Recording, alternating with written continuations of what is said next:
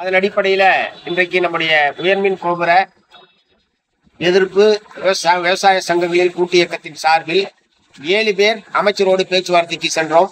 அமைச்சரோடு ஏறத்தாழ ஒரு மணி நேரம் அந்த பேச்சுவார்த்தை என்பது நடைபெற்றது.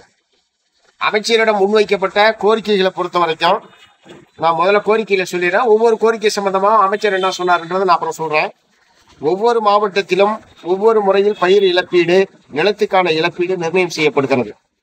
பெட்ரோலிய குழாய் பதிப்பு திட்டத்திற்கு நிலம் பயிர்கள் மற்றும் மரங்களுக்கான இழப்பீடுகளை வழங்க அரசாணை எண் ஐம்பத்தி நாலின் படி உயர் உயர் முன் அழுத்த கோபுர திட்டத்தால் பாதிக்கப்படும் விவசாயிகளுக்கு இழப்பீடு வழங்க வேண்டும். அப்படின்றது முதல் கோரிக்கை. ரெண்டாயிரத்தி பதிமூணாம் ஆண்டு நில எடுப்பு சட்டப்பிரிவு முப்பதின் அடிப்படையில் நூறு சதவீதம் கருணை தொகை நிர்ணயித்து வழங்க வேண்டும். வேலை செய்வதற்கான விதி படி மாத வாடகை உயர்மின் கோபுரங்களுக்கு வழங்கணும். நாலாவது திட்டப்பாதையில் உள்ள துறவு கிணறு ஆழ்குழாய் கிணறு வீடுகள் உள்ளிட்ட நிரந்தர கட்டுமானங்களுக்கு சந்தை மதிப்பில் இழப்பீடு வழங்க வேண்டும். அஞ்சு சம்பந்தப்பட்ட விவசாயிகளின் வங்கிக் கணக்கில் அனைத்து வகையான இழப்பீட்டுத் தொகையையும் முழுமையாக செலுத்திய பிறகு திட்டப்பணிகளை மேற்கொள்ளுமாறு உத்தரவிட வேண்டும். ஆறு இனிமேல் செயல்படுத்த உள்ள புதிய திட்டங்களை சாலை ஓரமாக கேபிள் மூலம் நிறைவேற்ற வேண்டும்.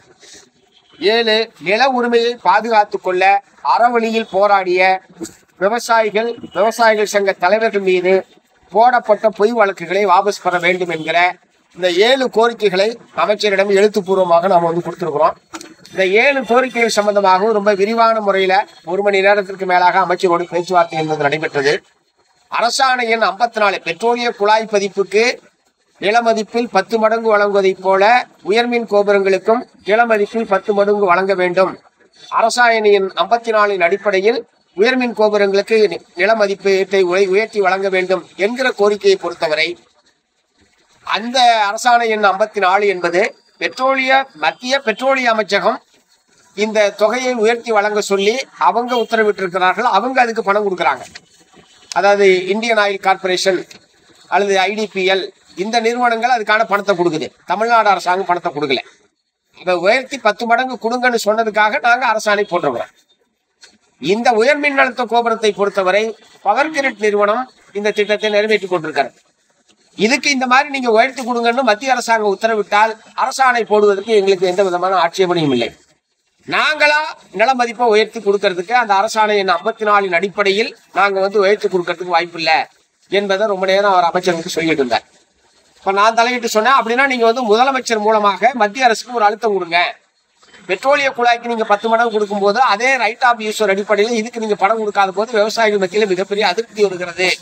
ஆகவே நீங்க இதுக்கு உயர்த்தி கொடுக்கணும்னு சொல்லி முதலமைச்சர் மூலமா வற்புறுத்துங்க என்பதை நான் வந்து வற்புறுத்துறேன் தோழர் பெருமாள் வந்து ரொம்ப அழுத்தமாக எந்தெந்த வகையிலெல்லாம் இப்போது வழங்கக்கூடிய நில மதிப்பீட்டை உயர்த்தி வழங்க முடியும் என்பதற்கான ரெண்டு மூணு ஆலோசனைகளை அவர் வழங்கினார். அதை எதையும் அமைச்சர் வந்து மறுக்கவில்லை.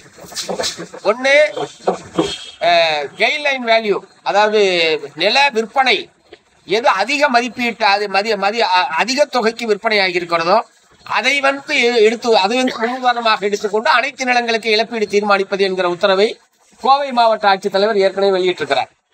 அந்த அடிப்படையில தமிழ்நாடு பூரா எல்லா மாவட்டத்துக்கும் நீங்க வந்து போட முடியும் ஒண்ணு. திருப்பூர் மாவட்ட ஆட்சித்தலைவர் ஏற்கனவே தீர்மானித்ததிலிருந்து முப்பத்தி மூணு சதவீதம் நில மதிப்பை உயர்த்தி ஒரு உத்தரவு போட்டிருக்கிறார். அதை நீங்க தமிழ்நாடு பூரா அமல்படுத்த முடியும். இந்த வகையில் நீங்க வந்து இப்போது அதாவது அரசாணையின் ஐம்பத்தி நாலு இல்லாமலேயே கோவை மாவட்ட ஆட்சித்தலைவர் உத்தரவிட்டிருப்பதைப் போல திருப்பூர் மாவட்ட ஆட்சித்தலைவர் உத்தரவிட்டிருப்பதைப் போல நீங்க வந்து நில மதிப்பை உயர்த்தி வழங்க முடியும் என்பதை நாம் வந்து வற்புறுத்தியிருக்கிறோம். அதை வந்து அதுக்கு அதுக்கு வந்து அவர் சொல்லியிருக்கிறது அடுத்த வாரத்தில் வருவாய்த்துறை செயலாளர் அதே மாதிரி வேளாண்மை துறை செயலாளர் மற்றும் பவர் கிரேட் நிறுவனத்தினுடைய அதிகாரிகள் இவங்களை கொண்ட ஒரு கூட்டத்துக்கு நான் ஏற்பாடு பண்றேன். அமைச்சர் இந்த அதிகாரிகள் நீங்க வாங்க சங்க தலைவர்கள் வாங்க. இந்தந்த மாதிரி கோவை மாவட்ட ஆட்சித்தலைவர் கொடுத்ததால இந்த கொடுத்துருக்க ஏன் மற்ற இடத்துல கொடுக்க மாட்டேங்கிறத நானும் நீங்க விளக்குங்க. நான் புரிஞ்சுக்கிட்டேன். கொடுக்க முடியும். ஆனா அதிகாரிகள் வந்து அதை ஒத்துக்கணும்.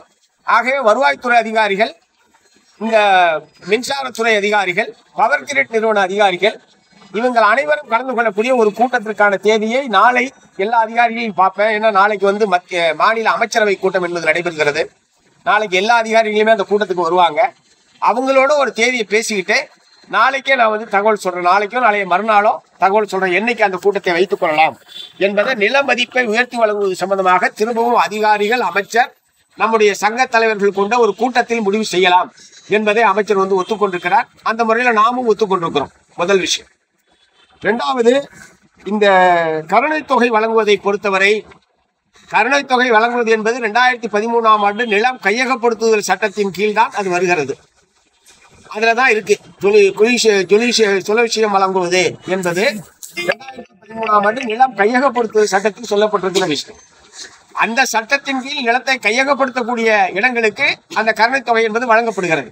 இப்போ ஏற்கனவே நான்கு வழிச்சாலை எட்டு வழிச்சாலை மற்ற பல சாலைகளுக்கெல்லாம் நம்மளே வாங்கியிருக்கிறோம். ஆனால் இந்த உயர்மின் கோபுரத்தை பொறுத்தவரை நிலத்தை நாங்கள் கையகப்படுத்தவில்லை. பயன்படுத்தி கொள்ளும் உரிமைதான். அதனால அந்த அடிப்படையில் இதுக்கு கேட்க முடியாது கொடுக்க முடியாது. இந்த கருணை தொகை என்பதை கொடுக்க முடியாது. வேணும்னா நீங்க நீதிமன்றத்துக்கு போய் உத்தரவு வாங்கிட்டு வாங்க. நாங்க கொடுக்கறதுக்கு ரெடியா இருக்கோம். நீதிமன்றம் உத்தரவு போட்டா நீதிமன்ற உத்தரவை நாங்க எழுத்து கோர்ட்டுக்கு போகல. அதுதான் நான் செய்ய முடியும்.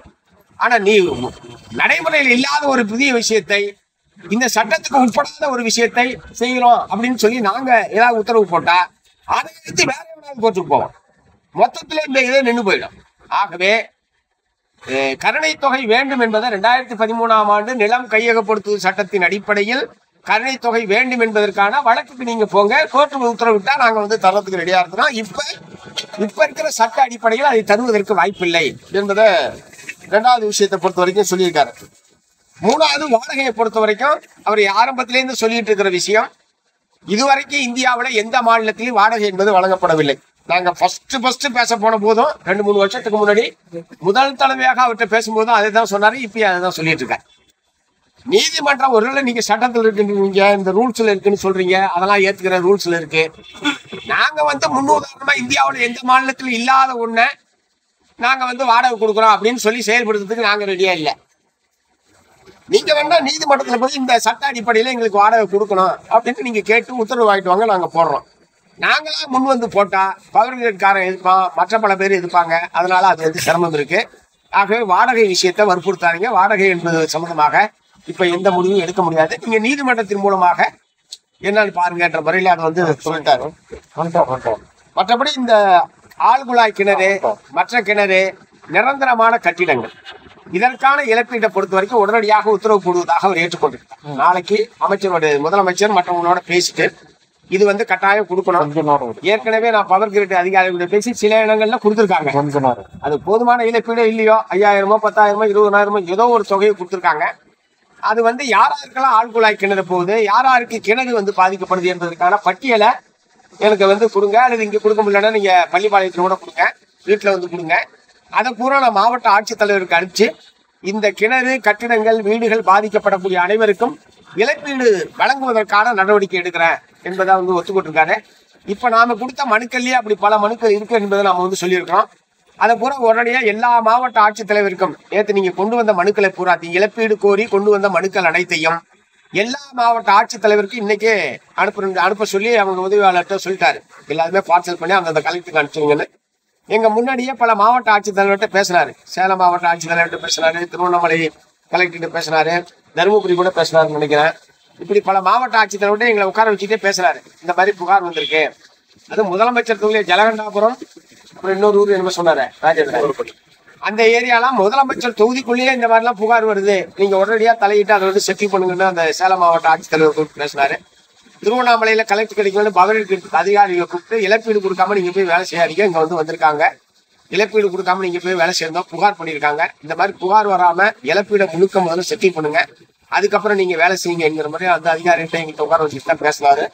ஸோ இந்த நிரந்தரமான கட்டிடங்கள் ஆழ்குழாய் கிணறுகள் மற்ற கிணறுகள் இதை பொறுத்த வரைக்கும் இழப்பீடுக்கான யார் யாருக்கு அந்த பாதிப்பு இருக்கோ அந்த பட்டியலை கொடுக்க சொல்லுங்க. நான் உடனடியா அதை கொடுக்க சொன்னேன்றதை அவர் வந்து ஏற்றுக்கொண்டிருக்கிறார். அடுத்து வந்து இந்த இழப்பீட்டு தொகை முழுமையும் வங்கி கணக்கில் செலுத்திய பிறகுதான் வேலை செய்ய வேண்டும் என்பதை அவரும் ஏற்றுக்கொண்டார். நாமரும் ஏற்றுக்கொண்டிருக்கிறோம். நான் அப்புறம் என்ன சொன்னேன்னா நீங்க வந்து இந்த மாதிரி இழப்பீடு கொடுக்காம வேலை செய்யக்கூடாதுன்னு ஒரு உத்தரவு கொடுங்க என்று சொல்லி நாங்க சொன்னோம். நான் எல்லா கலெக்டருமே இப்ப பேசிடுறேன்னா இழப்பீடு பெண்டிங் இருக்குன்னா அங்க வந்து வேலை செய்ய நீங்க அனுமதிக்காதீங்கன்னு சொல்லி எல்லா மாவட்ட ஆட்சித்தலைவரோடய இப்பயே நான் வந்து போன்லயே பேசுறேன் எல்லாத்துக்கிட்டையும் உங்களுக்கு இழப்பீடு போடாம செய்யக்கூடாது செய்ய விட மாட்டோம்.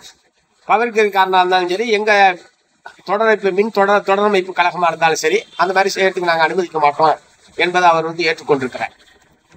அடுத்து வந்து இந்த கேபிளை பொறுத்த வரைக்கும் வற்புறுத்தாதீங்கன்னு சொல்லிட்டாரு. அது பலது சொல்றாரு நம்ம பலது சொல்றோம்.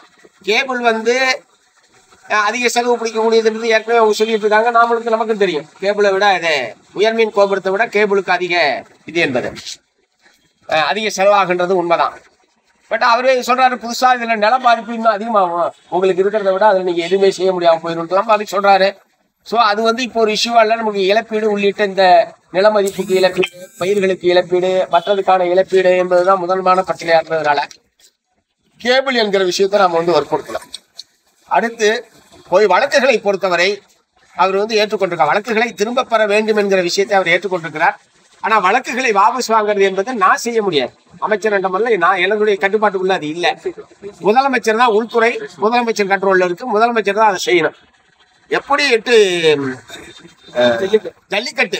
எப்படி ஜல்லிக்கட்டு போராட்டத்தில் போடப்பட்ட பொய் வழக்குகளை வழக்குகளை எல்லாம் நாங்கள் வாபஸ் வாங்கணுமோ அதே மாதிரி இந்த வழக்குகள் முழுவதையும் வாபஸ் வாங்க வேண்டும் என்பதை முதலமைச்சர்கிட்ட நான் வற்புறுத்தி வழக்குகளை வாபஸ் பெற வேண்டியது என்னுடைய பொறுப்பு. அதுக்கு முதலமைச்சர்கிட்ட பேசி அந்த உத்தரவை வெளியிடுவதற்கான எல்லா ஏற்பாடுகளும் நான் செய்கிறேன். அதனால அதை வந்து ஒன்றும் கவலைப்பட வேணாம் என்கிற இந்த ஏழு விஷயங்கள் சம்பந்தமாக இதுதான் அமைச்சரோட நடந்த பேச்சுவார்த்தை. இப்ப திரும்ப ஒரு சிட்டிங் என்பது அடுத்த வாரத்துல வருவாய்த்துறை செயலாளர் வேளாண்மைத்துறை செயலாளர் பவர் கிரிட் அதிகாரிகள் மின்சார வாரிய அதிகாரிகள் அமைச்சர் நாம எல்லாரும் உட்கார்ந்து பேசி இந்த ஜிஓ எண் ஐம்பத்தி நாலை பொறுத்த வரைக்கும் அல்லது நிலம் மதி நிலத்துக்கான இழப்பீட்டு மதிப்பை உயர்த்துவது சம்பந்தமாக அடுத்த வாரத்தில் நாம் தீ- திரும்பவும் சந்தித்து பேசலாம் என்பதை ஏற்றுக்கொண்டிருக்கிறேன். ஸோ அந்த வகையில் ஒன்று இதுவரைக்கும் இழப்பீடு தீர்மானிக்காத சில இனங்களுக்கு இழப்பீடு வழங்குவது என்பதை அவர் வந்து ஏற்றுக்கொண்டிருக்காரு. வழக்கை வாபஸ் வாங்குவதற்கான நடவடிக்கைகளை முதலமைச்சர் மூலமாக வழக்கை வாபஸ் வாங்குவதற்கு அவங்க வந்து ஏற்று- ஏற்றுக்கொண்டிருக்கிறாங்க. இந்த இழப்பீட்டு தொகையை நம்முடைய விவசாயிகளுக்கு கொடுத்த பிறகுதான் வேலை செய்ய வேண்டும் என்பதை எல்லா மாவட்ட ஆட்சித்தலைவர்களுக்கும் அவர் வந்து உடனடியாக நேரடியாக பேசி அந்த மோதல் இல்லாமல் இழப்பீடு கொடுத்துட்டு தான் நீங்கள் வேலை செய்யணும் என்பதை அந்த கோரிக்கையை வந்து அவர் ஏற்றுக்கொண்டிருக்கிறார். அதனால நம்ம வைத்த கோரிக்கைகள் ரெண்டாவது ஜீவோ எண் ஐம்பத்தி நாலை பொறுத்த வரைக்கும் திரும்ப பேசுவது என்கிற முறையில் தான் அவங்க வந்து சொல்லிட்டு இருக்காங்க அதே மாதிரி கருணை தொகை வாடகை கேபிள் இந்த மூணு விஷயத்தை அவர் வந்து ஏத்துக்கல. அது வந்து நீங்க நீதிமன்றத்தின் மூலமாக நீங்க வந்து இது பண்ணுங்க. ஏன்னா என்னுடைய எல்லைக்குள்ள அது இல்லை. என்னால் செய்ய முடியாது என்பதை அவர் வந்து ஒத்துக்கொண்டிருக்கிறார் ஆகவே இப்போது நம்முடைய தமிழ்நாடு முழுவதும் உயரழுத்த மின்கோபுரத்தால் பாதிக்கப்பட்டிருக்கக்கூடிய விவசாயிகளுக்கு இந்த கூடுதல் இழப்பீடு என்பது மிக முக்கியமான பிரச்சனையா இருக்கு. அதே மாதிரி நம்முடைய சங்க தலைவர்கள் உட்பட ஏராளமான விவசாயிகள் வழக்கில் பாதிக்கப்பட்டு நீதிமன்றத்துக்கு அலைஞ்சிட்டு இருக்காங்க. அந்த நீ அந்த வழக்கு ஒரு முடிவுக்கு இந்த சந்திப்பின் நம்முடைய இந்த போராட்டத்தின் மூலமாக அந்த வழக்கு என்பது இப்போது முடிவுக்கு வருகிறது. அது இந்த வாரத்தில் வரலாம் அடுத்த வாரத்தில் அறிவிப்பு வரலாம் பட் எப்படினாலும் அதை அவர் வந்து ஏற்றுக்கொண்டிருக்கார். முதலமைச்சர் மூலமாக அதுக்கான நடவடிக்கை இருப்பதாக ஒத்துக்கொண்டிருக்கிறார். மற்ற விஷயங்களை நம்ம தொடர்ந்து பிரச்சாரமாக தான் பண்ணணும்.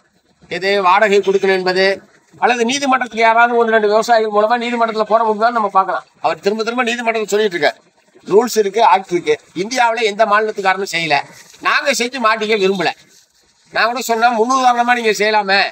எத்தனையோ காரியங்கள் தமிழகம் தான் முன்னுதாரணமாக செஞ்சது முன்னுதாரணமாக செஞ்சதுன்னு சொல்கிறீங்க இப்போ கூட பன்னெண்டாயிரம் கோடி ரூபா கடன் தள்ளுபடி நாங்கள் தான் செஞ்சோம்னு சொல்கிறீங்க அந்த மாதிரி ஒரு சாதனையாக இருக்கட்டுமே இதையும் நீங்கள் செஞ்சு கொடுக்கலண்ணே ஐயோ வேற என்ன வேற என்ன? அதெல்லாம் கம்பெனிக்காரெல்லாம் பூரா எங்களுக்கு எதிராக தெரிஞ்சுக்குவான் அதெல்லாம் சாத்தியம் இல்லைன்னு சொல்லிட்டாரு. அதனால் நீதிமன்றம் உத்தரவிட்டா நாங்கள் செஞ்சாலும் தீரணும் அதை வந்து நாங்கள் செய்ய போகிறோம் என்கிற முறையில் அவர் வந்து சொல்லியிருக்காரு. அந்த வகையில் நம்முடைய இடைவிடாது நாம் நடத்திய இந்த போராட்டம்.